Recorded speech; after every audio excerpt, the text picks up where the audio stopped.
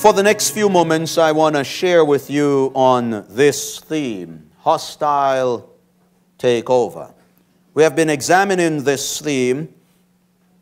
We've had two presentations on this thematic before, and we understand that we are dealing with the fourth commandment.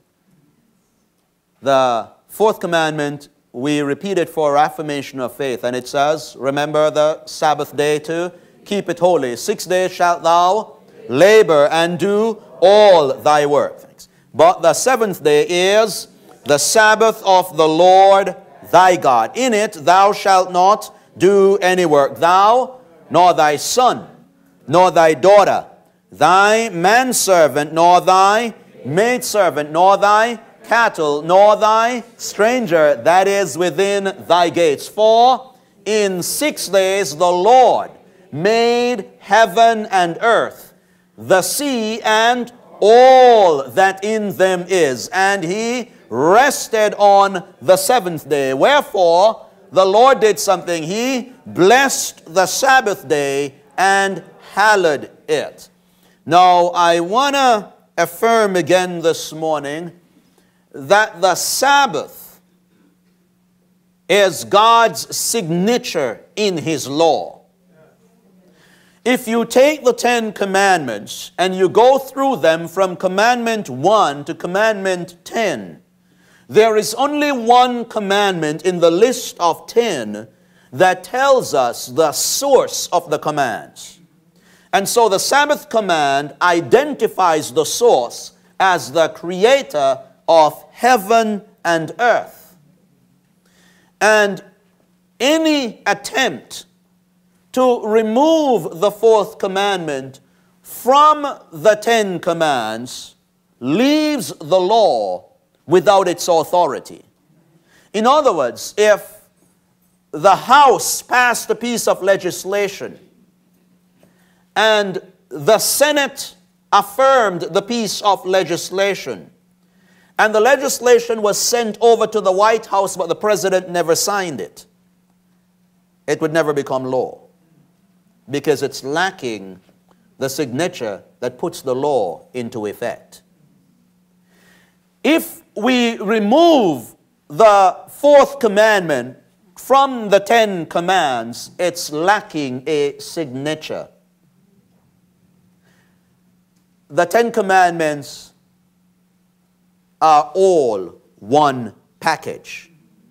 You cannot then choose which of them you're going to pay attention to. It's all or nothing.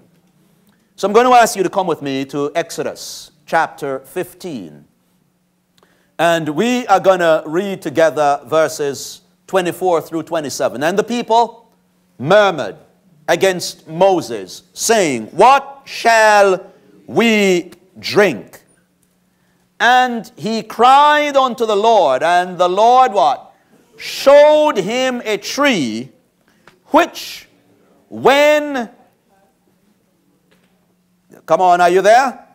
Which when he had cast into the waters the waters were made sweet. There he made them for a statue and an ordinance and there he proved them and said what did he say? If thou wilt diligently hearken to the voice of the Lord thy God, and will do that which is right in his sight, and will give ear to his commandments, and what? Keep all his statutes. What did God promise? God made a promise. What was his promise? I will put none of these diseases upon thee, which I have brought upon the Egyptians, for I am the Lord that doth something. What does he do? I am the Lord that healeth thee. And they came to Elim, where were twelve wells of water, and three score and ten palm trees, and they encamped there by the waters. I like the Exodus story because it's full of rich emotive themes. God had sent Moses down to Egypt. And Moses inquired of God, God, going down to Egypt is no ordinary thing to do. You know, I fled Egypt as an ex con, a murderer fleeing justice. And now you're asking me to go back to Egypt. Not only that, you're asking me not to go in undercover, but you want me to go up to the palace of the Pharaoh and go tell Pharaoh that you said to let your people go. I've got a problem with the palace. But not only that, I also have a problem with the people.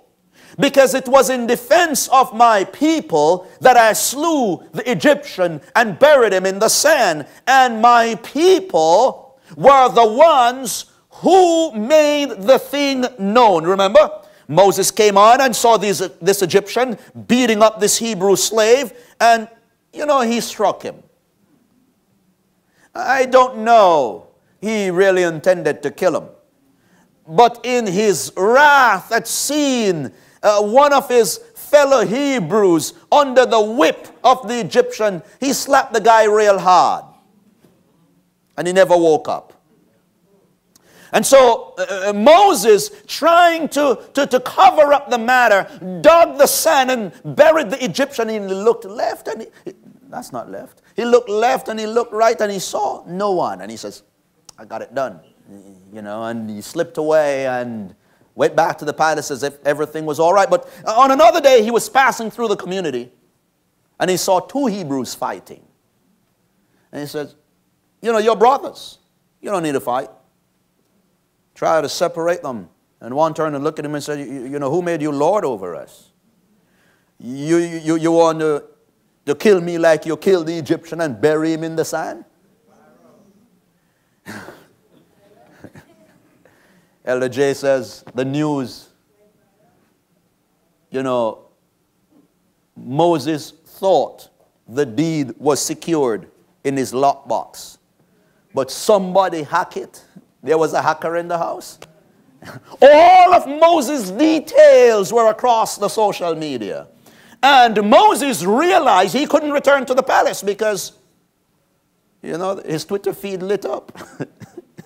and he had to run off to Midian. He ran off to the wilderness. And for 40 years he was there. And here comes God saying, Go back to Egypt.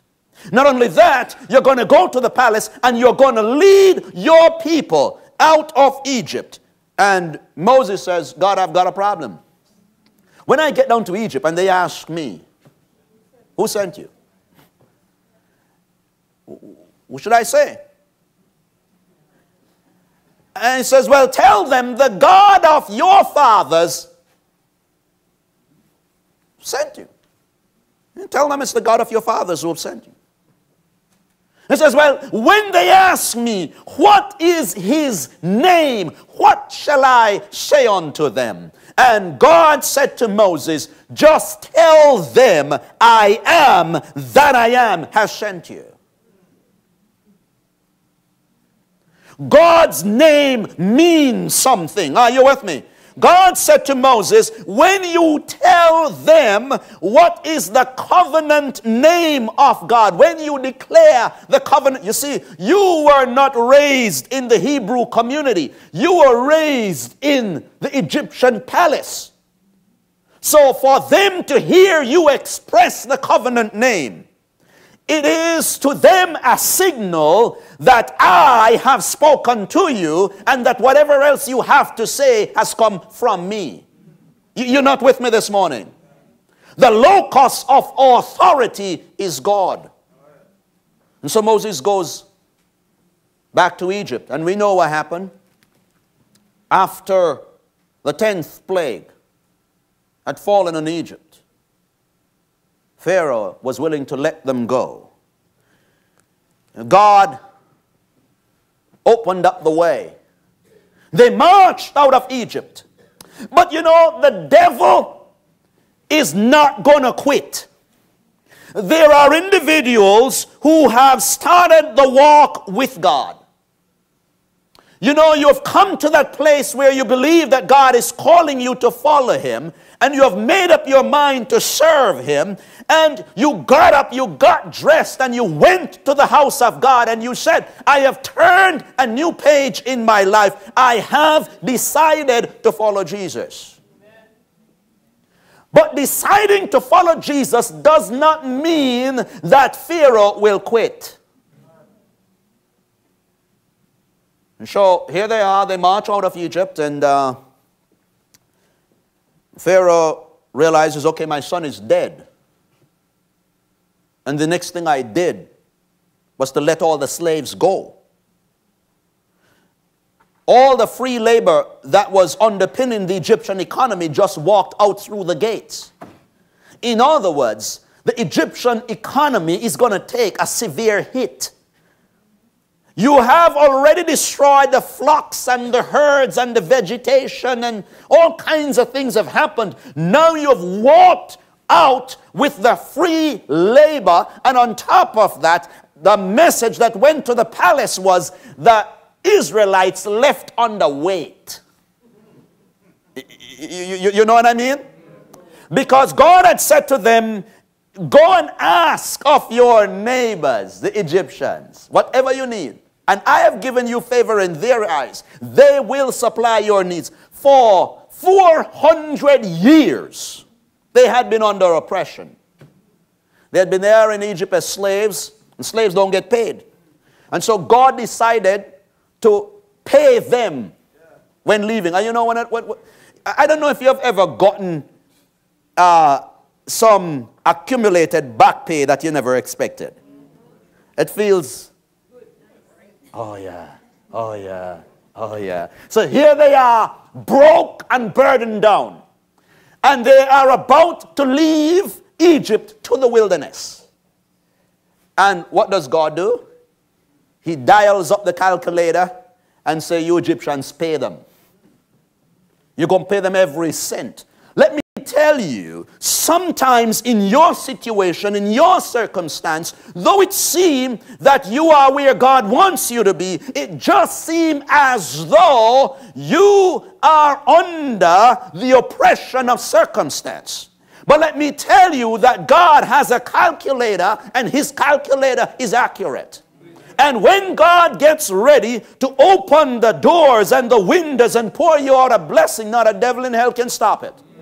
And so when, when Pharaoh heard that the Israelites went up underweight, he knew what had happened. They had collected their salary. and he says, you know, I'm, I'm, I'm, I'm, I, I can't let all of that gold get up out of Egypt just like that. I'm, I'm going to go get those guys. And so he assembled his army. He was ashamed. He was embarrassed. How could it be that this, this, this guy without an army came into the land of mighty Pharaoh and took all his laborers out raided the Egyptian economy and walked out full of gold. And I am the fear of Egypt. I'm going to stop them. And don't believe that because you're having a great experience with God, that the devil is just somewhere off saying, you know what happened? God is blessing him. I'm just over here. I'm not going to. No, no, no, no, no, no, no, no, no. The devil is always after you. The Bible tells me that he walketh around like a roaring lion, seeking whom he may devour. But I want you to understand that the angel of the Lord encampeth around about them that fear him, and it is he who delivers them. So they marched out. But God does something strange. He sends them not on the highway to Canaan, but he sends them on a circuitous route that seemed to be a bridge to nowhere. When I say that, they took a turn off the highway and went off into a cul-de-sac. And this was where God was leading them. It's odd. It was not like Moses was leading them without any divine direction. God says, This is the road you must follow. And, and I, I, can imagine that Moses must have been wondering, God, why not, why not that big pretty road over there? God says, this is the way. And when they got to the end of the route, there was the sea before them and mountains on both sides. I was like, hold a moment.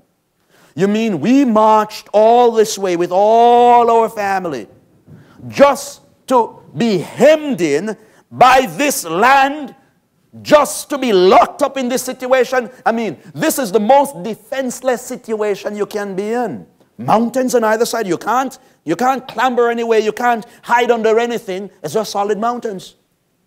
And out there is the sea. And back there is the road to Egypt. And you know, before too long, who was filling up the back port, the, the, the, the horizon, the back end of the picture? Pharaoh and his army. And the Israelites, they're terrified. They're like, Moses, would to God we had died in Egypt. You got to read uh, Exodus chapter 14. Would to God we had died in Egypt. You mean you came down here, you and your ex convict self. And we were, we were eating onions and leeks and we were eating the fat cows of Egypt. Yes, they oppressed us, but at least we were eating and drinking. Now we are going to be murdered in the sand beside the sea. We and all our children hopelessly hamstrung because you took us on this foolhardy journey. Let me tell you something. There are many individuals who start the walk with God and you're so happy. You know, you get baptized and the job open up and you, this problem you are having, your, all your problems just seem to get fixed. And the light is shining bright, and you come in the church and you're enjoying the worship service. And when we sing the song, your face light up. Tis so sweet to trust in Jesus, just to take him at his word, just to rest upon his promise, just to know, thus saith the Lord. And you know what happened? Boy, one day you turn up at the job and the boss says, You're going to show up here next Sabbath. You here?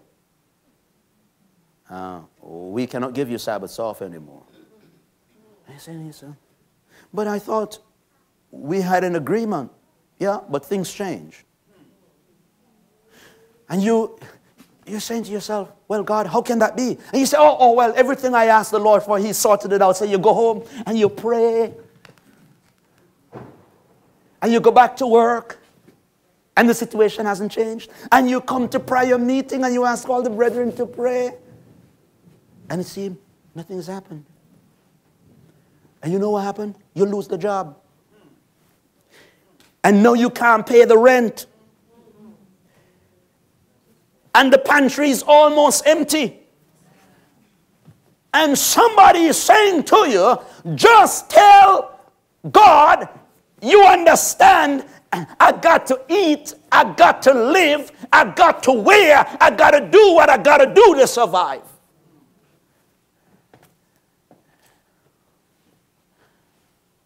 And you're praying, the week is running out, and nothing is happening. You come to church, probably the first two Sabbaths. You know? And you come to church, but you don't want everybody to know that you're belly rumbling. you know what I mean?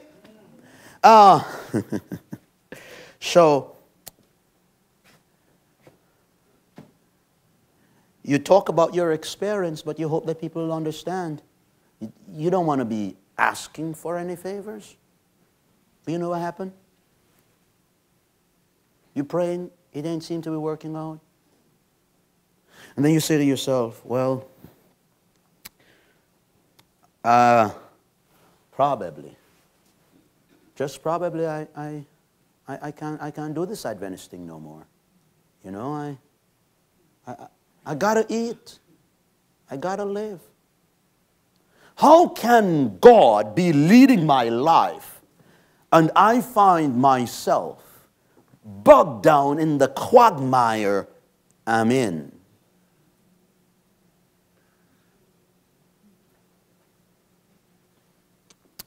But you know, it, it's a funny thing. But I, I like to read the Bible and look at how God arranges situations in the lives of the faithful that ends up embarrassing the devil and bringing him glory. Say, embarrass the devil? How, is that, how does that work out? Well, well, look. Pharaoh rides out with his big army and he carries Egypt was at the head of the technological innovations in warfare at the time. Egypt carried out its best war chariots, uh, those with the knives spinning on either sides of the wheel. Uh, that was the latest technology in Egyptian warfare and African warfare because Egypt is Africa.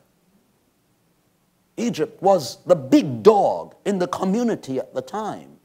And Pharaoh brought out his crack troops because as far as he was concerned, it was not just this fellow Moses. This fellow Moses had shown up talking about God says to tell you, and God says to tell you, and God says to tell you. But you got to understand in Egyptian theology, Pharaoh is the impersonation of the sun god Ra. In other words, Pharaoh himself is God.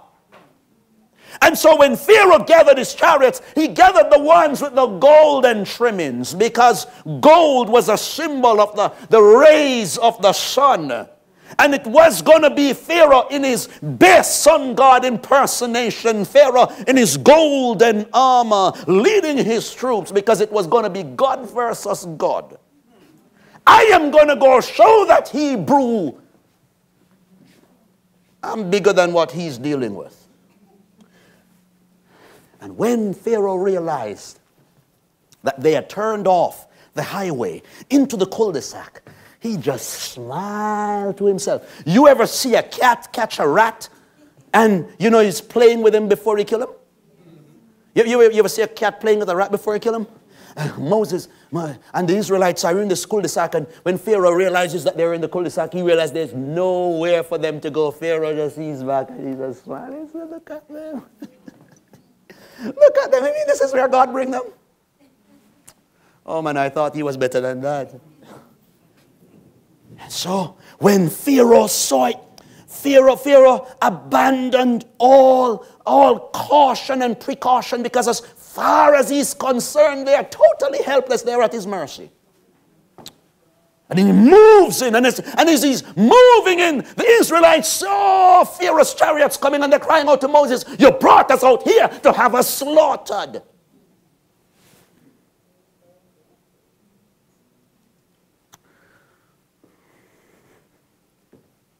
But God was in charge. And I want to let you know, in spite of what's happening in your life, God is still in charge. And if you hold fast your faith to the end, the Bible says, He that endures to the end, the same will be saved. It is not about what you're going through, it is that you remain faithful in it. Are you with me? Because as long as you still have the cord of faith in your hand, your bell is still ringing in heaven. Are you with me? God will answer. He may not come when you want him, but he will be there right on time.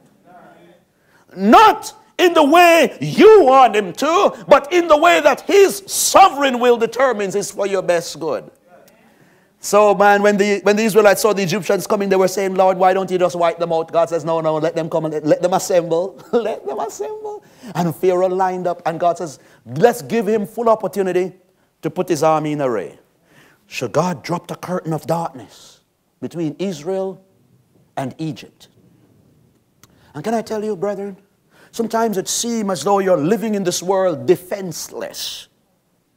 Sometimes it seems you're on your own. But can I say to you that if you walk in the counsel of the Lord, if you walk in the word of the Lord, if you walk in the will of the Lord, the Lord will fulfill his promise. Amen.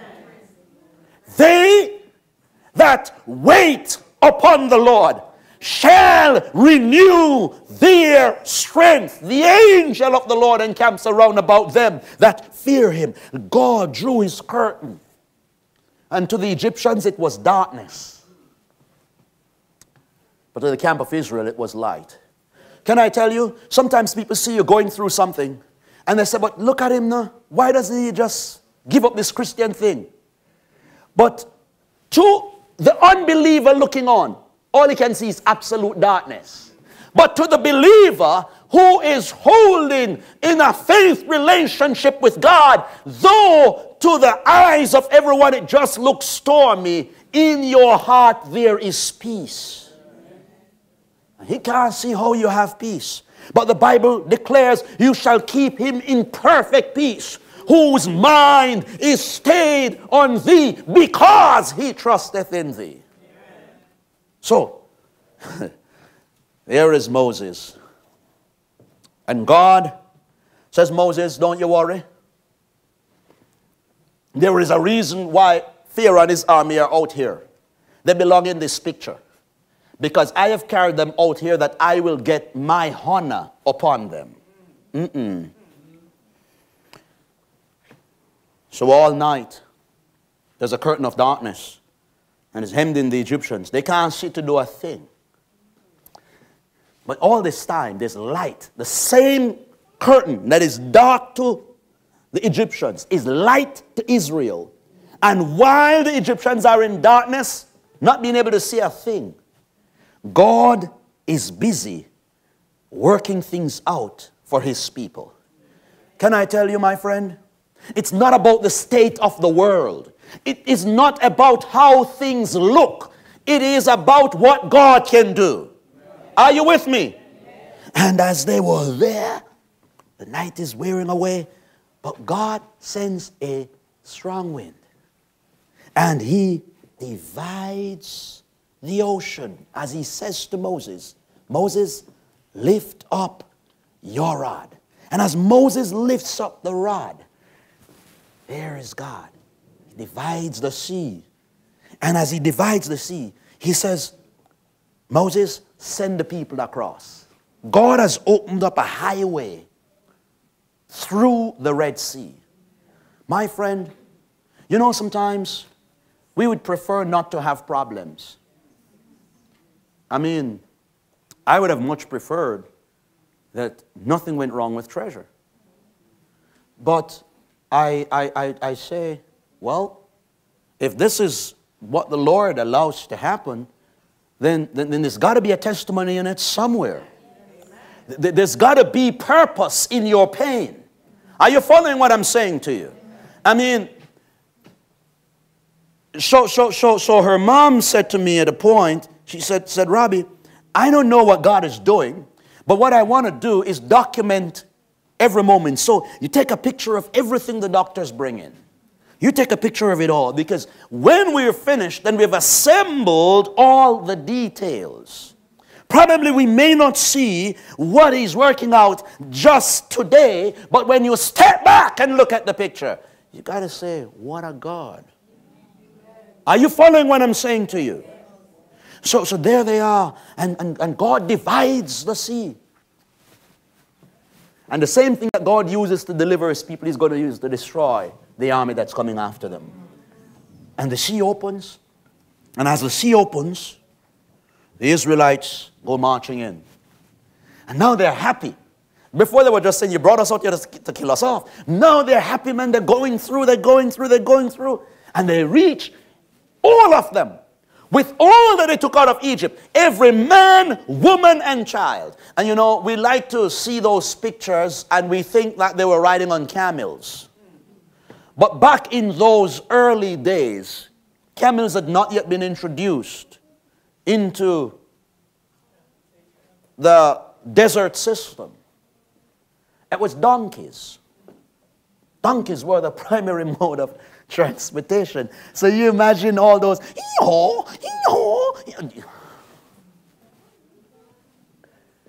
and all the donkeys have made it across, all the little ones have made it across. And after they've made it across, God does something. He pulls the curtain of darkness. It's funny, you know, how sometimes to the person outside, it looked like you just moved from being in adversity to being suddenly so blessed. But you don't understand it's a process. all the time that they were looking at you and they thought that nothing was going on, God was busy working it out. You're not with me. Uh, because they didn't see what happened one, two, three, four. But God can change your situation just like that.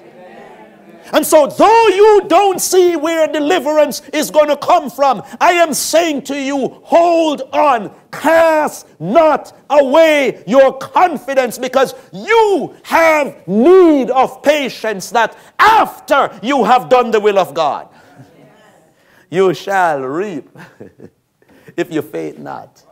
You're not with me? So here they are. The curtain lifts, and the next thing they see is this massive highway. They don't know where it came from. And when they look, the Israelites are on the other side. Pharaoh says, I don't know how that happened, but that road, we going on it. And so he says to his troops, charge. But that road was constructed for people of faith. That road was constructed for people in a covenant relationship with God. And when the Egyptians decided to occupy the king's highway, an angel swooped down and hung a sign, road closed. And the columns of water that had embraced the new pathway just, just suddenly clapped their hands together And Pharaoh and his army were gobbled up in the depths of the sea. It was all over and done with. Just like that. You will not have to fight for yourself if you stand up for Jesus. Because God has said He will fight your battle. And the evidence was on the seashore chariot wheels, pieces, and all that, all that military technology that the Egyptians gathered up, you know, their nice spears and swords that they carried with them because they were going to use it to cut up the Israelites. You know what happened? When the waves came rolling in, all those swords just washed up on the shore. And the Israelites just collect them and say, We'll use this to fight in Canaan. So now they left with all the goods, and now they've gotten military equipment like bread from heaven. And they're on the seashore and they're singing, Oh, the Lord has triumphed gloriously. Pharaoh and his army has been thrown in the sea. And you look at these people and you say, No matter what else happened in their lives, they're going to trust God. That's what you say, right? You say, after such a marvelous miracle, after they've gone to the mountaintop with God, there ain't nothing that anybody can say or do that will cause them to doubt God. But come with me. Exodus 15. This is the next big incident. Exodus 15. So here we are. Come with me and let's start reading in verse 22. They just finished having a big praise service. They have just left the prayer meeting. The Bible says, so Moses brought Israel from the Red Sea, and they went out into the wilderness of Shur, and they went three days. Isn't that a long time? Three days in the wilderness, and found no water. have mercy. And when they came to Marah, they could not drink of the waters of Marah, for they were bitter. Therefore, the name of it was called Marah. And they tell me that even to this day, the Bedouins who occupy that area that was identified as the waters of Marah, they say there is in that region no water worthy to drink in all the springs in the It's not that you don't have springs, you know. Got springs. But the water is so awful that not even donkeys would drink it. And the people murmured against Moses, saying, What shall we drink? Now, let me tell you something. Donkeys can survive between three and four days without water, without a drop of water. But cattle, you keep your cattle without water for a day. After day two, they begin to drop like flies. Are you seeing what's going on? And so the Israelites are looking at their cows, and the cows are going, oh, oh, oh. They can't even make a good bellow. The little ones. You know, when people travel into the wilderness, they usually take their leather pouches and they fill them with water. The leather pouches of water that they carried from Egypt is about to run out. You know, let me tell you, when things are great, church is rocking, eh? Full of praises. When you still have water left in your leather pouch and your camels are fat, it is nice to praise the Lord. Well, guess what happened?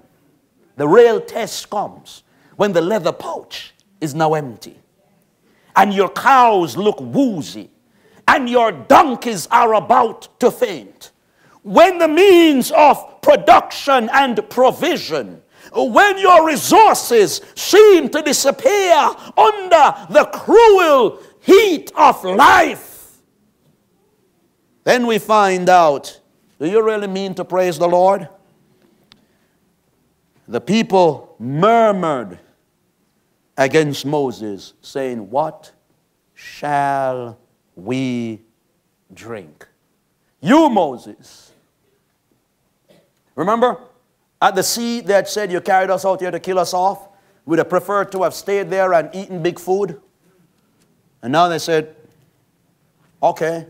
So we got past this water. And you think that's a big deal. But right now we're about to die for thirst.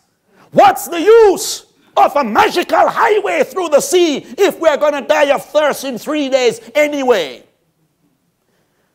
Take all this back and give us back Egypt. Let me tell you something. There is a something when you are half hearted in your devotion to God. When we do not have a wholehearted commitment, it is the easiest thing to turn around and say, God ain't done nothing for me. When even the mouth you're using to say it, if God didn't give you the strength, you couldn't even say a word. The breath you used to curse Him, the body you used to dishonor Him, the strength that you use to accomplish the violence of sin is provided by the hand of a merciful God. The people murmured against Moses, saying, What shall we drink? Verse 25. But Moses has learned. What has he learned? When problems are big down here, Moses, you are not the measure of these problems, but you serve a God.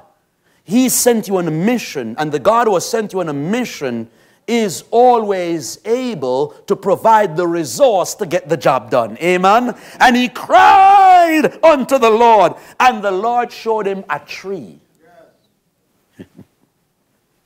Which, when he had cast into the waters, the waters were made sweet. Now, they tell me that there are particular trees in the desert that can be used to sweeten bitter waters.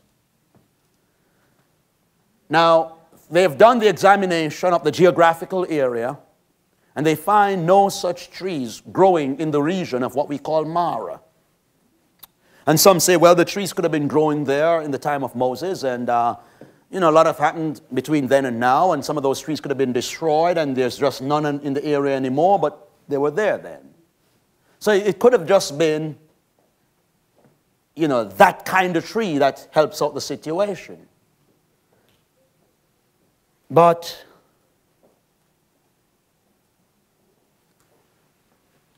I believe this here as a supernatural intervention. Are you with me? Amen. And even if it were an ordinary tree, Moses never saw that tree until God showed it to him. Are you with me? When God showed Moses the tree, he had a solution. Can I tell you something? The whole world was locked up in the bitter waters of sin. Oh, yes, we were there fainting and ready to die. But God introduced the tree. Amen. The Bible tells me, cursed is he that hangs on a tree. But on a hill far away stood an old rugged cross, the emblem of suffering and shame when we were at the end of our line and we could not find a solution to sweeten the bitter waters of our lives. From Calvary's hill, there came a cry, It is finished. And in that moment, all our sorrows, there became the possibility for all our sorrows to be turned to joy, for all our pains to be turned into testimonies and comforts. Yes. Though it seemed that all was lost, the Bible says he cried unto the Lord, and the Lord showed him a tree which when he cast into the waters, the waters were made sweet.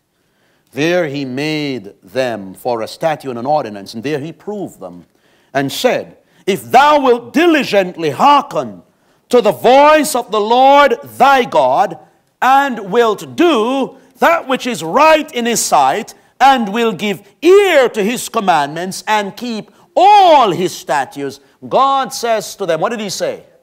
I will put none of these diseases upon thee, which I have brought upon the Egyptians, for I am the Lord that healeth thee. Friends, satisfaction in this life is not going to come by any other means and by trusting in Jesus. Because the promises of this world are like cotton candy. Anybody know cotton candy? The promises of this world are like cotton candy. It looks nice and fluffy. You know, you get that thing. I, I, when the candy man came in, in, in, into the elementary school and he would he'd put the stick in his candy machine and he'd move the stick around and, you know, an empty stick went in. And when the thing came out, it had this big puffy thing. And, and depending on the flavors, pink and white and blue and fluffy and lovely. And you look at it, oh man, you just, uh, big thing. You think you get big thing. And by the time you touch it with your tongue, it melts away. While it's happening, it's sweet. And then you look, you know, and, and uh, Brother Clark, I thought I should have gotten more for my money, you know. so, so, so the stick is empty. And I'm kind of looking at the guy, I'm saying, saying where's the rest of it? That's the way the world is. You think you've gotten it all, and in a moment it's down to a dry stick. But I tell you, the Bible instructs me lay up for yourselves treasures in heaven where moth doth not corrupt, and where thieves do not break through and steal. If you lay up yourselves treasures in heaven, my friend, those are treasures that will never pass away. God said to Israel, If you'll give ear to my commandments, keep all my statutes, I'll put none of these diseases upon you, which I've brought upon the Egyptians, for I am the Lord that healeth thee. What's the record? What's the record? I want to close very quickly. I don't want you to get afraid of me. Exodus chapter 23. God says, So you shall serve the Lord your God. And he will what? Bless your bread and your water. Can I tell you? I'm not telling you it's always going to be easy. But I'm telling you, God ain't going to leave you in the lurch. Are you with me this morning? It may seem as though things may have tumbled right side up upside down. And then we find out that if we stay in the will of God, He'll work it out. If you abide my commands, He says, so you shall serve the Lord your God, and He will bless your bread and your water. Not just that, and I will take sickness away from the midst of you. What was the testimony? This was a promise God gave them. After they, He gave them water, He gave them this promise. What did He promise them? I'll heal you. One is the testimony. Does God fulfill His promise? Psalm 105, verse 37, what does it say? There was not one feeble person among their tribes. For 40 years they lived in the wilderness and they never got sick. And you know what was amazing about it? They had one pair of shoes and it never wore out. 40 years. Anybody here have a 40 year old pair of shoes that's still good?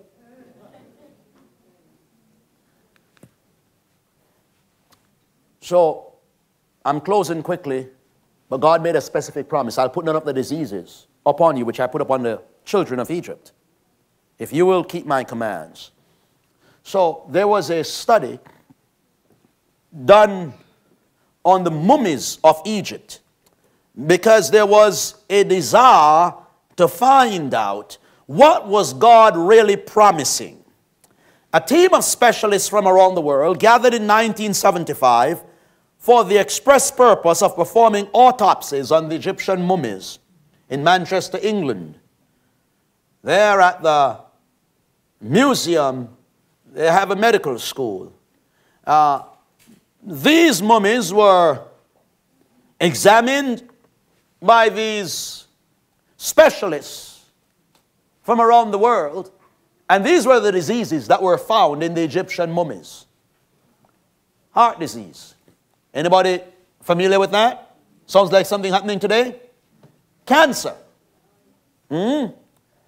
All different kinds of vascular diseases. And also among the Egyptian mummies, they found arthritis. God said, I'll put none of the diseases found among the Egyptians upon you. For 40 years, they're in the wilderness. No heart disease, no cancer, no kind of vascular disease, no arthritis. But then it gets better than that. In 1522, not long before the birth of Moses, there was a famous medical book written in Egypt called the Papyrus of Eber. Now, this book lists a, a, set of remedies or cures for a host of diseases, infections, and accidents, very few of which you'd probably like to use. But I want to share with you a couple of things. What happened in the medical records of Egypt? Now, if you had a bald head, anybody with a bald head? If you're losing here and you were in Egypt in this period, here is the solution that doctors of Egypt would have provided. Rub into the scalp a tonic. Here is the formula. Tonic made from horses, horse hoofs and a bush called dog heel boiled in oil. And you rub that, and you are supposed to get hair growing again. Uh, well, probably that was not as interesting to you. Huh?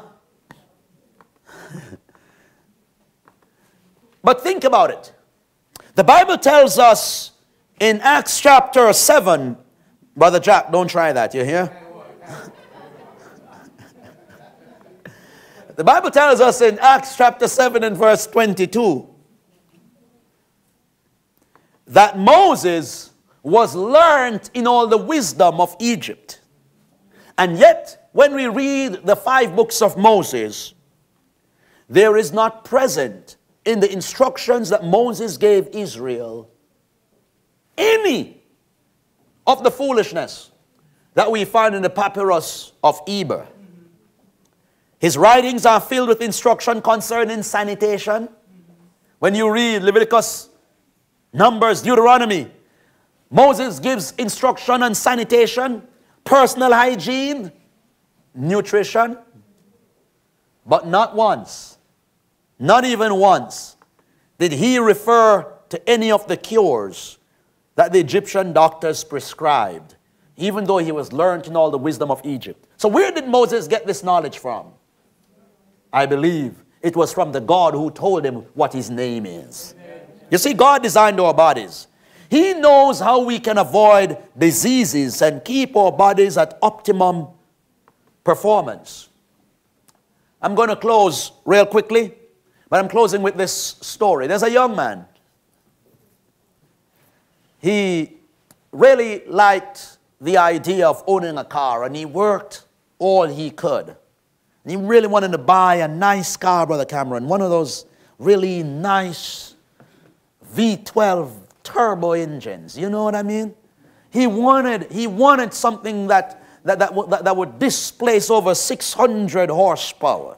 He, he wanted something that would, would, would, would really stick to the pavement. You know, he, he wanted something uh, that, that didn't stop at five gears. That, he wanted a car that was, was, was, was, was no ordinary car, and he worked real hard. And he got it. He bought it. Nice, shiny red. It was pretty. But he liked driving. He really liked driving, but he didn't like reading. You know what I mean? So, as far as he was concerned, I know how to operate a car. I don't need to read the manufacturer's instruction. The car is turn it on and drive. so, I mean, every day he jumped in and he would drive his car really. Uh, he, he, wanted his friends to see him. And you know, when he, when, he, when he got onto the main boulevard, he would pull off to the side of the road and he'd touch his button and, and the drop top would roll away and he'd just smile. And everybody was seeing him in his pretty car and he just, he just loved everybody seeing him in his pretty car. And it, it was really fulfilling to him. He really liked to show what his car could do, and he would, he would, he would, get on, he'd get on a nice piece of road near where there was a lot of traffic, and, and you know, he would just wait until there was a little space, and he, his zero to 60 was awesome. Just fly around the place. And he kept on doing this over and over and over. He didn't bother to, to check on the fuels or the brakes or, I mean, it's, it's a great car. I mean, this is, you know, it's a mighty car. What could go wrong?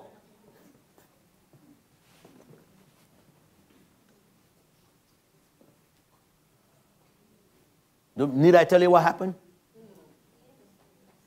Oh, you need me to tell you? My friend, God, the great God, has made you marvelous. You're special. You're not ordinary. You're unique. Are you with me? The Bible says you are fearfully and wonderfully made. And God has some basic instructions for your life. And in His 10 principles, God has outlined how to live an abundantly satisfying life. Following His principles, it won't always be easy. Sometimes you may end up in a cul-de-sac like Israel. Sometimes your water may run out of your leather pouch. Sometimes it may seem as though your cows are dying and your donkeys are about to collapse. But they that wait upon the Lord shall renew their strength. They shall mount up with wings as eagles. Run and not be weary. Walk and not faint. Friend, you can either live for the cotton candy of this world, or you can live by the will and the word and the plan of God. You know what he says? Daniel tells me that after everything has collapsed, the kingdom and dominion under the whole heavens shall be given to the saints of the Most High. Sister Matthew didn't have any idea how the sermon was going to be presented today. But she went to Revelation 22 this morning, and when I saw her text, I just smiled. I smiled. I'm going to close. Stand with me. I've said, I've referenced closing so many times, and I'm still standing, that if I didn't ask you to stand, you'd probably think he's not serious. Revelation 22, verse 14. What does it say? Blessed are they that do his commandments. They are the ones who will have what? Right to the tree of life and enter through the gates into the city. God will not force you to be obedient. For 10 plagues, he tried to persuade Egypt. For 10 plagues. And Egypt would not be persuaded. What else does God have to do in your life for you to give him his due? What else? What else must God do to persuade you that he's worthy to be praised? You could choose. You could choose to be among the camp, marching according to the will and the word of God or you could choose to be buried in the depths of the sea. And trust me, it's not going to be water, it's going to be fire. And that's not because God doesn't love you, it is because you would have resisted his love. None will be lost because they couldn't be saved.